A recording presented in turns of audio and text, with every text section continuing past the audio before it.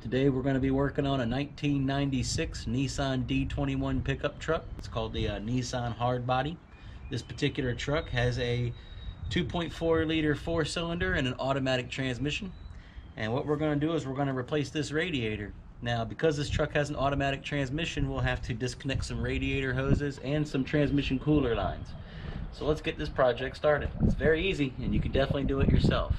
First step that we're going to do is we're going to remove this intake tube so that we have access to everything down there.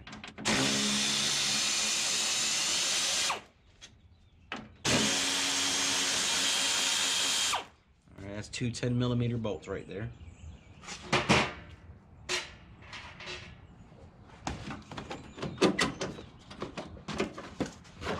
Right, we've removed the intake. We've sat it off to the side. I put the bolts back into the little holes that they came out of so I know which bolts went where.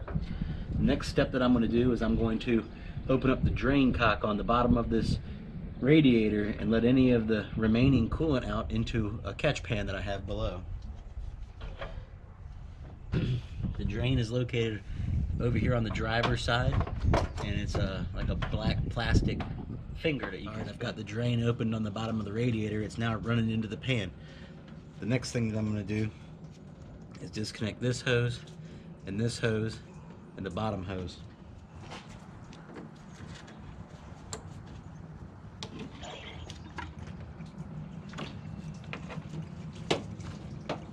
Alright, tuck that one out of the way.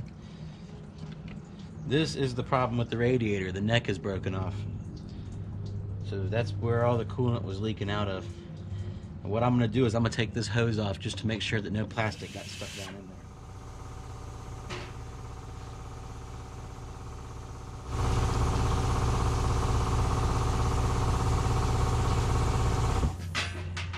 there. Okay, there was no plastic in that hose, so it was all stuck right here, so that's a good thing. Next, we need to remove four Phillips head screws that hold this shroud on.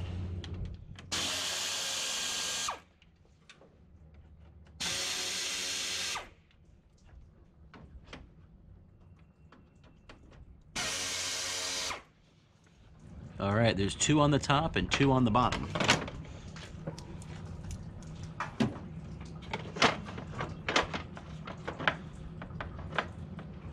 All right, that allows us to slide this shroud back, which will give us the clearance we need to pull this radiator out.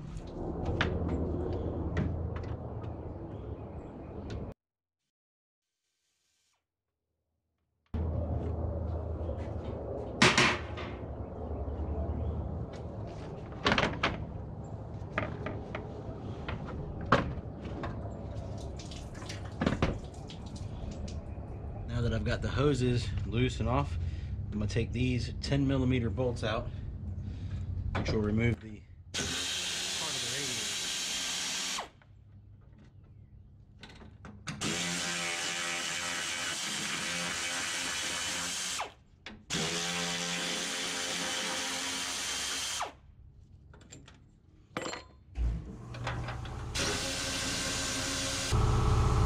With those out of the way, radiator can move freely.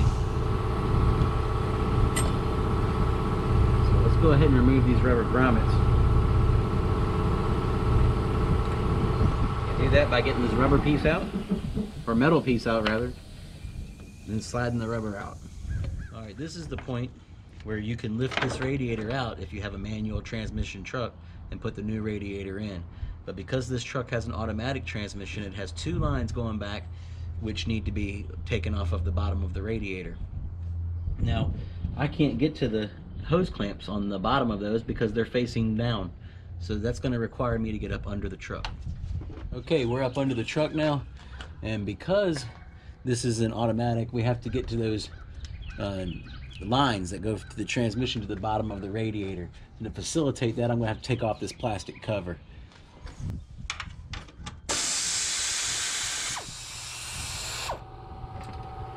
Alright. Okay, I can see both of the lines right here, right where they go on. Alright, I want to mention this. When you take those hoses off the transmission cooler, you want to make sure that you turn the hoses up or put a pair of vice grips or something, hose clamp on them or something to keep them from leaking any fluid while you're changing the radiator. All right, we've got our hoses disconnected from the transmission. Now we've got our fan shroud slid back. We should be able to lift this radiator out. There we go. You see these little rubber pieces? They go in little holes at the bottom and that's what the radiator sticks into. You want to make sure when you pull your old radiator out that you check the bottom of it and that none of these are left on it. You want to make these back in the hole here. So when you put your new radi radiator in, it'll be held nice and steady. Looks the same. We might replace that cap too just as a safety precaution. But you can see where the old one was bad. This thing right here was cracked off. See, it's supposed to be that long. This one's missing. So that's the uh, that's the problem with this one. It didn't have any leak other than that. I'm gonna make sure this is tight. That way, when I start dumping fluid in, it won't run back out. Then I'm gonna be real careful sticking her down in there. So let's take our little rubber pieces push them back down to the top. Then this piece of metal goes in from the front, from the front side because the bolt goes in from the back.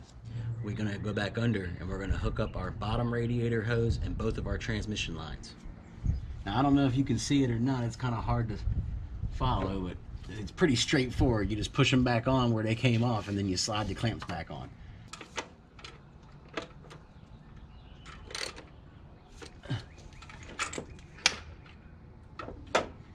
Alright, I got the hoses on the bottom hooked up. And the next step is to make sure that the radiator goes down into the, the little slots where the rubber is. There she goes. Now she feels all sturdy in there. That's what you want. Alright, let's go ahead and put these back on. What we're going to do, we're going to just hand start all the bolts.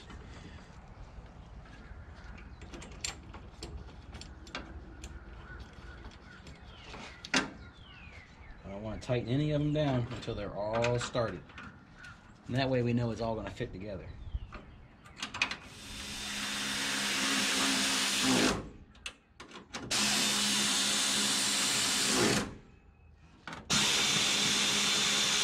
Next, we're going to put the shroud back on.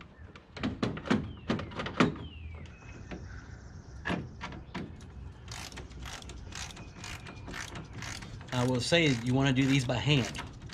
And the reason that is, is because this is going into plastic. You don't want to tighten it with an impact or something like that and have it break. So just get them snugged up to where they're not going to come out and this part ain't moving.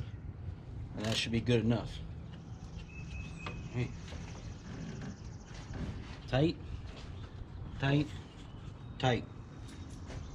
All right, next step, top radiator hose.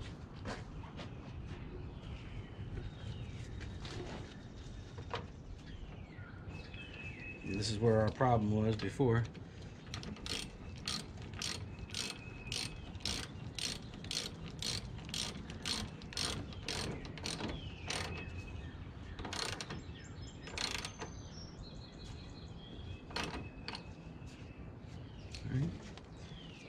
And we put our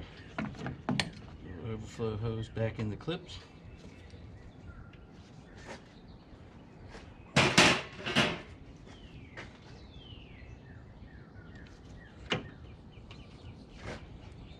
coolant, I'm using Prestone ready mixed, or it's you know pre-mixed, so it's 50-50 already. So I don't have to worry about water.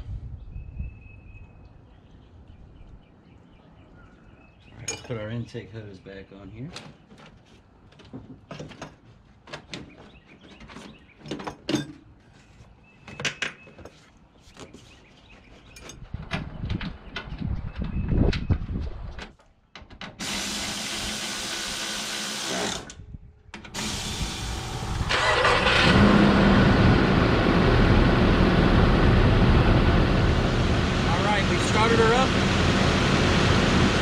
Take a few minutes for it to get warm.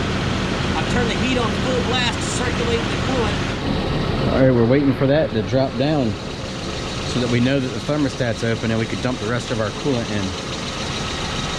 last step in my process. I'm gonna put this shield back up. All right, that's the whole deal right there. You just saw me change this radiator in the Nissan. It was no problem at all, and it's definitely a DIY type of project, so you can do it yourself, believe me. I want to say thank you very much for watching the video if you're still watching right now, and please give it a thumbs up if it was any good. Leave me a comment. Let me know what I could have done better or what you'd like to see. It'll help my channel grow. All right, until next time, Gregg Festo out.